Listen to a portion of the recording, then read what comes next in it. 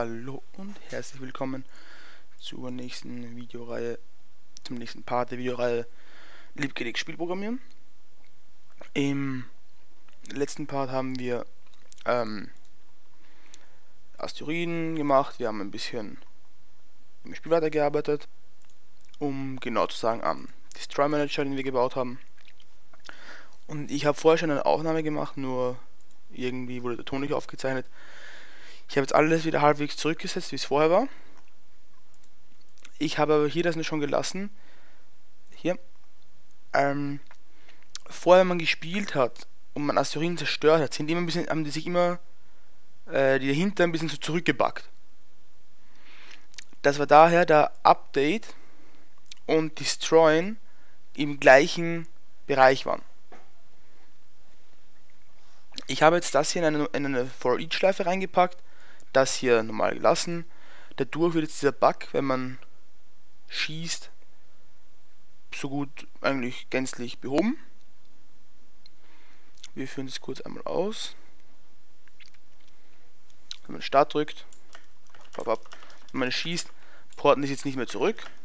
Wenn man schießt, falls diesen Bug nicht hatte, dann ja, aber bei mir war der Bug, jetzt habe ich es einfach so gemacht, dass ich jetzt alles selber bearbeiten darf. Ähm, jetzt möchte ich eine Funktion einbauen, einerseits die Optionen hinzufügen und äh, eine coole Sache schon mal machen, äh, nämlich, dass man sich die FPS anzeigen kann, oben rechts in der Ecke. Weil ich finde, so ist zum Beispiel wichtig, wenn man jetzt was aufnimmt oder ähnliches Pipapo. Deswegen, wir haben jetzt hier einen Manager, machen wir uns noch eine eigene eigenes Package für hat. Für die Head-Up-Displays, dazu zählen Dialoge, Fenster, Sachen, die einfach im Spiel auftauchen. Da mache ich jetzt eine Sache, ähm, wie kann man das nennen? Ich weiß nicht. Static HUD, keine Ahnung. Das könnt ihr nennen, wie ihr wollt. Ihr einfach Static HUD, also statisches HUD, was immer da ist. Und dann kann man noch ein Dynamic HUD machen, was immer kommt, wenn man irgendwas drückt. Dafür brauchen wir jetzt mal eine Bitmap-Font. Bitmap-Font. Nenne ich FPS. Dann mache ich natürlich die typischen Methoden. Einmal Show. Public Void Render. Das möchte ein Sprite Batch und dann Public Void Update, das möchte ein Delta haben. Gut. Dann sagen wir fps.draw, den Batch.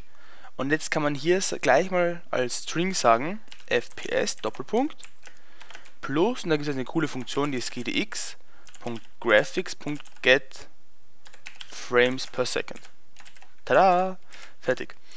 Äh, das ist gdx.graphics.getWidth äh, minus 50 und gdx.graphics.getHeight. Ähm, da bin ich mir jetzt nicht sicher, ob das funktioniert, aber wir probieren es auch mal aus. Und dann Steuerung L, Steuerung O. Und wir müssen unsere Variable auch noch definieren. New Bitmap Font. Ähm, jetzt bin ich mir gar nicht sicher, ob wir das so gemacht haben.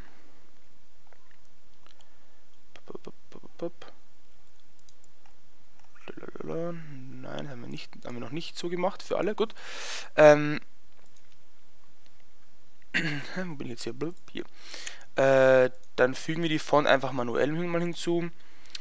Sie ist nämlich in GDX Files Internal und zwar unter GUI slash Font slash 84 slash font.fnt. Jetzt weiß ich gar nicht, ob das so gut ist, dass wir die große haben. Werden wir dann sehen. Wenn es so groß ist, machen wir es einfach kleiner. So. Dann kopieren wir uns das hier, fügen das hier mal ein. Und das nennen wir jetzt mal um in ähm, hot private static Tick hat. Ja? Oh. Static hat. Okay, ich weiß nicht, wo der Fehler liegt. Ähm, Shift F6 ist übrigens Rename. Static hat, zumindest in, äh, in IntelliJ und in Android Studio, ist, ups, Strichpunkt und dann sagen wir this ähm, static cut ist gleich, ist gleich new static cut this Punkt static cut Punkt show. This Punkt static cut ist gleich new ist Punkt update delta. Und dann haben wir hier noch this.static hat ist gleich, nein, es ist nicht gleich, sondern ist render unser Batch. Und jetzt im idealsten Idealfall haben wir oben unsere FPS-Anzeige. Ja gut, ich würde schon sagen, dass es groß ist. Aber einmal zum Testen möchte ich es jetzt nicht minus 50, sondern minus 150 weil die Schrift ist doch dezent überdimensional. Ist auch immer sehr überdimensional. Später wird minus 50, 50 reichen. Aber... Okay. Also, ähm, Camtasia lockt mir das anscheinend auf 60 FPS. Ähm, ich werde gleich mal das kurz ohne, ohne Ding benutzen ohne Camtasia. Bis gleich. Gut, es war auch 60 FPS außerhalb. Das kann jetzt daran liegen, dass wir Fausing wahrscheinlich nicht deaktiviert haben. Doch haben wir. Gut, dann bei mir läuft es mit 61 FPS, um genau zu sein. Außerhalb ähm, Camtasia. Weiß ich nicht, woran das liegt. Vielleicht muss man das manuell höher stellen, aber vielleicht erlaubt Java auch nur 60 FPS. Was mich wundern würde, weil Minecraft läuft mit 400 FPS. Ja, keine Ahnung. Auf jeden Fall läuft es bei mir jetzt mit 61 FPS. Bei euch kann es höher sein, bei euch kann es niedriger sein. Und ja. ja static in Game hat. So. Ähm, gut. Also jetzt haben wir unsere FPS-Anzeige. Ich ja, das ist viel zu wenig Font. Ich hole kurz noch ein paar andere Fonts, weil 48 ist zu groß. So, da bin ich wieder. Ich habe jetzt hier noch vier weitere erstellt. Und jetzt können wir hier wahrscheinlich auch die kleinere nehmen, sagen wir mal 24, könnte passen. Wir starten jetzt kurz mal das Spiel. Ja, das ist viel besser. Gut, ähm, ich habe keinen Doppelpunkt, deswegen werde ich es einfach mal so lassen. Ähm, get frames per second ist ein... Ja, und was für ein Datentyp ist das? Und get frames per second ist int. Gut, es gibt von jedem, von jedem Datentyp eine To-String-Konverter, nämlich integer.toString. Haben wir letztens herausgefunden. Ist eine sehr schöne Methode zum Konvertieren in einen String. Und jetzt haben wir hier die FPS-Anzeige. Man kann natürlich jetzt wunderschön machen mit einem Glyph-Layout. Ich weiß gerade nicht, ob ich das schon mal erklärt habe, aber mit einem Glyph-Layout kannst du kannst du den Text perfekt positionieren. Ich sage jetzt einfach mal FPS Layout ist gleich Glyph Layout. Ja, komm, Klammer auf. Ups, ist falsch, nämlich New Glyph Layout. Jetzt möchte einen Font drin haben, das ist die FPS und der Text ist das da. Hier drin. Äh, private String FPS Font, FPS String, F FPS Font, FPS Font, FPS Font und hier sage ich dann FPS String ist gleich pop. Hier drin sage ich einfach mal nur ein Leerstring und äh, sage ich fpslay.setText ist fps String. Dadurch weisen wir dem hier, äh, dem hier, immer wieder den neuen Text zu. Was passt nicht? Text, also die Font muss ich auch sagen und den fps String. Dadurch sage ich dem Layout, sage, gebe ich jedes Mal den neuen String mit. Das ist gut, wenn wir, äh, wenn der String zum Beispiel, wenn man jetzt nur 60 FPS hat, dann ist es ja, hat man eine andere, eine andere Breite, wie als wenn man 110 FPS hat. Oder 1400. Deswegen möchte ich es so machen, dass der Text sich immer passend äh, verschiebt, wie viel FPS man hat. Jetzt kann ich hier sagen FPS String natürlich. Und jetzt sage ich hier nicht minus 350, sondern FPS lay.width. Und hier FPS lay.height. Wenn ich es jetzt ausführe und keinen Error bekomme, müsste sich oben rechts perfekt in der Ecke anpassen. Hier sieht man. Pop. Oh, jetzt bin ich gestorben. So, ein, ein Versuch. Und dann hier oben immer die FPS-Anzeige. Man kann auch die natürlich noch färben, indem man sagt, ähm, if in int integer Punkt parse int fps string ja das ist dumm man muss es wieder hin und her konvertieren aber das ist nicht so schlimm äh, größer als 60 kann man sagen fps font.setcolor color.green machen wir wieder im Switch. Vielleicht schöner. Switch. Inte integer.to parse int fps string. Dann case 1 break case. Nein. Case 60 kann man Größe 60 sagen so?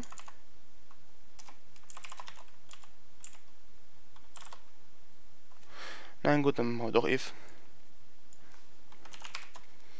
if fps fps string Punkt. Nein du musst jetzt kommentieren if integer Punkt pass int fps string größer 60 so so. If fps string kleiner 60 und so, so, äh, kleiner 60, größer gleich 60 und größer gleich up 30, dann fps font.set color color. orange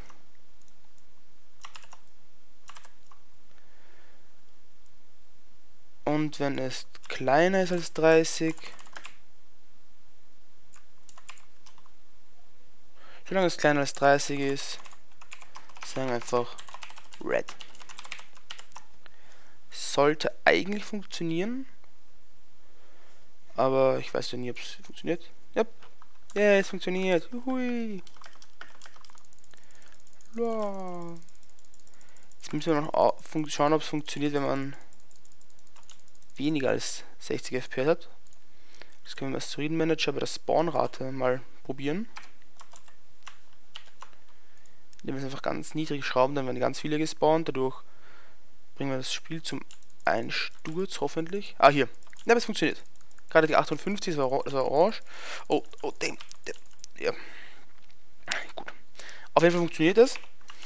Und ähm, wenn es bei euch nicht die Farben ändert, dann kann es daran liegen, dass ihr die Schrift nicht weiß gemacht habt. Es ist wichtig, wenn ihr im Spiel die Farbe ändern wollt, der Schrift, dann müsst ihr die Schrift ähm, weiß färben. Dadurch ermöglicht dem Spiel eine Farbe drüber zu legen. Weil äh, schwarz sind alle Farben und keine Farben sind weiß. Oder andersrum, alle Farben sind da, egal. Ich habe die Erfahrung gemacht, wenn es bei mir bunt ist, die Schrift schon, dann kann ich sie nicht mehr färben oder es färbt sich komisch. Deswegen mache ich weiß, weil dann kann ich es immer färben oder gleich weiß lassen. Also so habe ich es bis jetzt herausgefunden. Vielleicht gab es ein Update und jetzt kann man das trotzdem färben. Bei mir ging es auf jeden Fall nicht.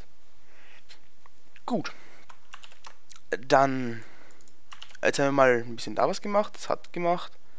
Mache ich zu, mache ich zu, mache ich zu. Weg, weg, weg. So. Ähm, jetzt möchte ich noch das Optionenmenü mal hinzufügen. Und das machen, ich schon eigentlich am Anfang vorhatte. Nämlich äh, Slider hinzuzufügen. Ich habe jetzt hier mal äh, einen Slider designt. Der ist halt pixelig, aber das stört ja nicht. Und einen Slider Dot, der ist auch pixelig.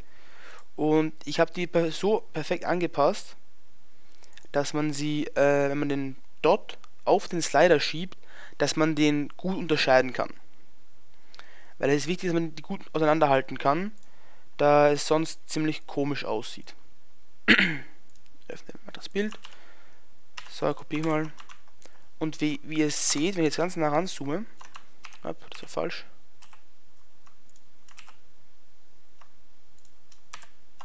Genau. So. wie ihr seht, den kann ich hin und her schieben. Und es ist immer perfekt. Hier ist voll. Wenn ich ihn rüberschiebe, seht ihr, das ist, sieht perfekt, das ist nämlich heller als der Hintergrund. Wenn ich ganz drüben bin, ist er bei 0. Man kann das Intervall zwischen Minus, dem niedrigsten und höchsten äh, je nach Belieben verändern und die Step Size. Und das machen wir auch, aber erstmal müssen wir uns einen neuen Screen hinzufügen. Nämlich den Optionsscreen. Der implementiert Screen.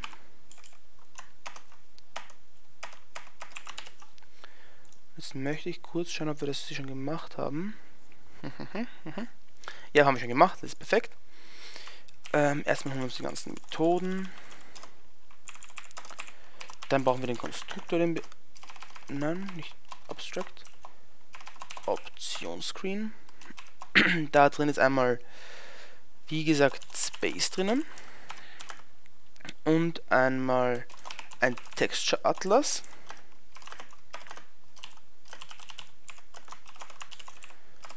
Dann brauche ich einmal hier private space space und dann das Punkt space ist gleich ist gleich space und das Punkt Textur Atlas ist gleich ist gleich Atlas aber Textur Atlas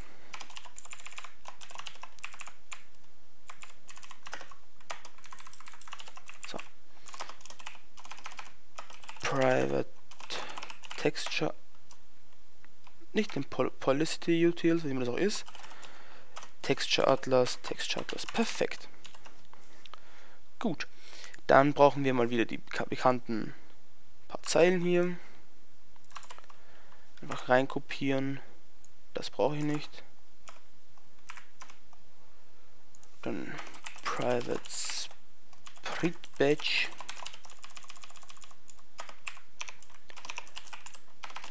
Batch ist gleich New Spread Batch. Und ich werde nie verstehen, wieso die nicht automatisch eine Update-Methode hinzufügen. Float Delta. Gut, jetzt sind wir mal fertig hier. Vom Menü-Screen müssen wir natürlich über den Option-Screen auch gleich verweisen. Einmal unser Move Delta, unsere Billiganimation, die wir aber dann auch bald besser machen werden. Und this.space. Screen, New Option Screen. Er möchte ein Space haben, also this.space und er möchte einen Texturenatlas haben. Nicht den hier, sondern this.textureatlas, genau. Jetzt gehen wir in den Optionen-Screen und wir haben ja schon einen Texturenatlas. Jetzt brauchen wir wie gesagt unseren Skin Dann brauchen wir unsere Stage. Und dann brauchen wir unseren Table. Komm schon, genau. Perfekt. So, ich habe hier schon mal in den Atlas das eingefügt, hier ganz rechts, sieht man den, Blop, habe ich ihn hinzugefügt. Und in der Skin-Datei habe ich noch nicht das hinzugefügt, das machen wir jetzt gleich zusammen. Vorher fügen wir hier noch unsere weiteren Fonts hinzu. Das war einmal 16, 24 und 32. Und das müssen wir hier dann nochmal. Perfekt. Und jetzt gehen wir wieder in das Internet. Hier. Und hier gehen wir unter, wo habe ich das eingespeichert? Hier auf die Datei. Das ist die gleiche, die wir letztens benutzt haben, nur hier nicht rot unterlegt, weil das rot unterlegte, das ist so unmenschlich hässlich zu lesen. Das ist wirklich Augenkrebs. Deswegen haben wir das jetzt hier so schön gemacht. Also hier, so von ihrer Seite, nur die RAW-Datei. Und wir brauchen einen Slider, den haben wir hier. Den kopieren wir uns geschmeidig raus und kopieren hier geschmeidig rein.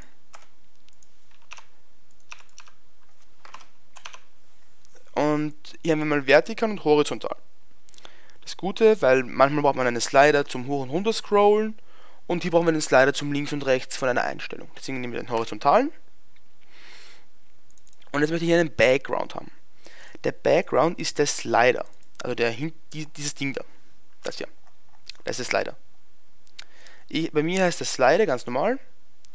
Und im, im Texturenatlas hier ist der auch unter Slider drinnen irgendwo. Hier Slider und Slider unterstrich dot. Deswegen schreiben wir hier auch Slider hin. Hier muss der Name stehen, wie, das, wie, wie er im Atlas auch drin ist.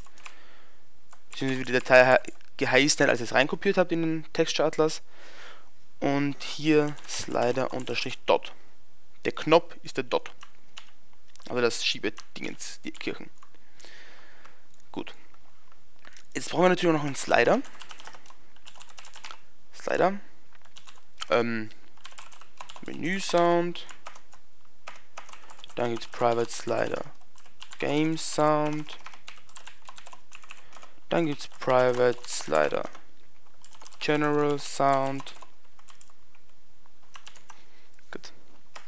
on pri private slider music music sound Gut. das sind unsere vier Slider davor definieren wir uns aber jetzt mal die wichtigen Sachen den Skin ist new Skin das ist GDX Files internal GUI slash skin.json und den Textchecklist this Punkt Textstatuss.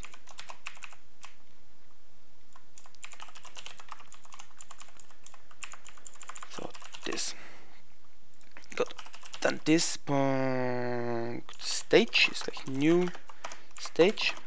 Und this Table ist gleich New Table. Gut. Jetzt, jetzt können wir auch unsere Sound, unsere Slider mal generieren. Das ist der General Sound ist gleich New Slider.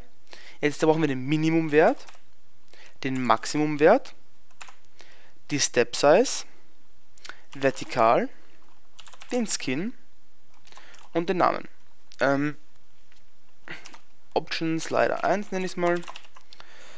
Das sollte ich auch noch in der Skin-Datei mal festlegen. Die ist ja da. Nein, weg. So. Ähm, hier, ich nenne es jetzt mal Option Slider 1, wie gerade genannt.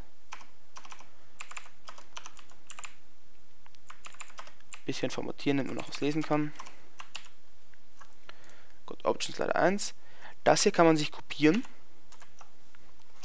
und einfach sagen Menü Sound, Game Sound und Music Sound. Hopp. Jetzt machen wir etwas, ähm, dass ich nicht verstehe, wieso das nicht die normalen äh, Spielefirmen auch machen nämlich den Sound auf 50 setzen, also 50% beim Start. Weil ich weiß, wie das immer 100% ist. Bei 100%, wenn man ein Spiel startet, explodieren dir die Ohren sofort.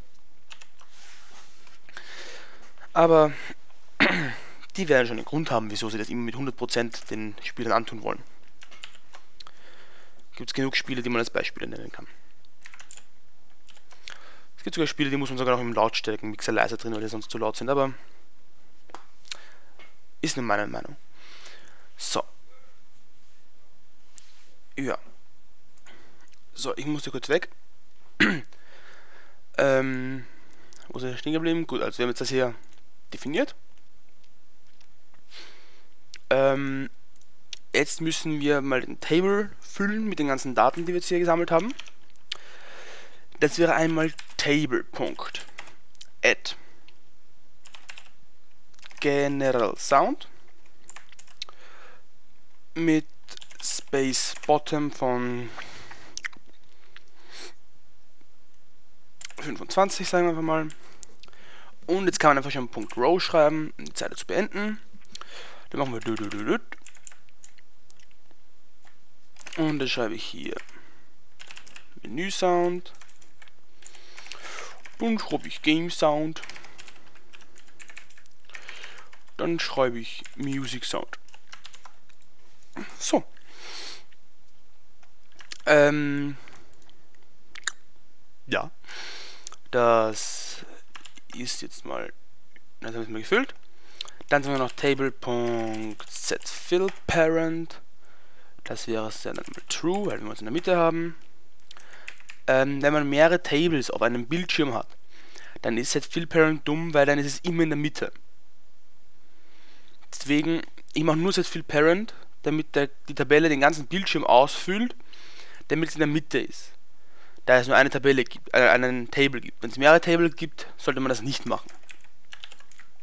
Außer man möchte, dass jeder in der Mitte ist, aber weiß ich nicht. Dann sagen wir stage.add und bevor wir etwas Wichtiges vergessen ist gdx ähm, stage.stage.add äh, nein gx input.set input processor äh, Stage. This.stage.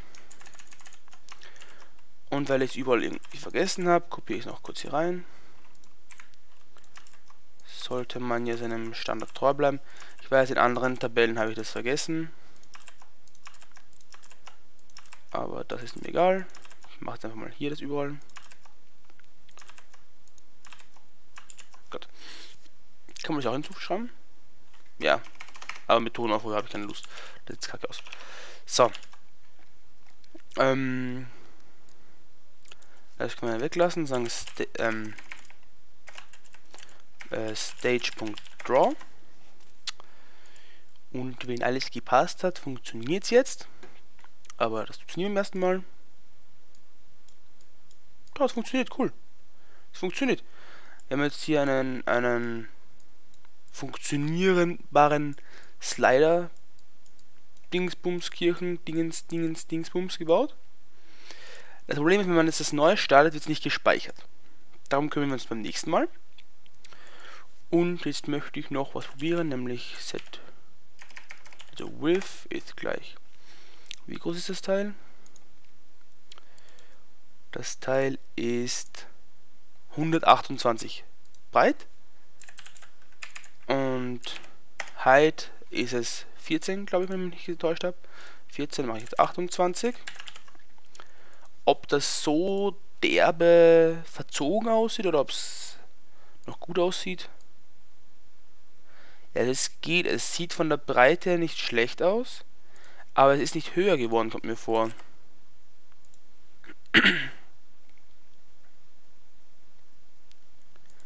Ich glaube, die Höhe ziehen geht gar nicht, weil das...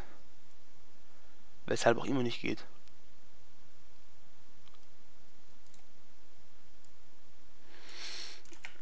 Ähm... Punkt... Scale. Punkt Scale... Punkt Z. Actor Height geht's damit? Nein, geht nicht, hat keine Weiterführung. Hm... Ja, dann mache ich es einfach mal größer hier überall. Um die Höhe werde ich mich ein anderes Mal kümmern. Aber so finde ich es eigentlich schon relativ cool. Ähm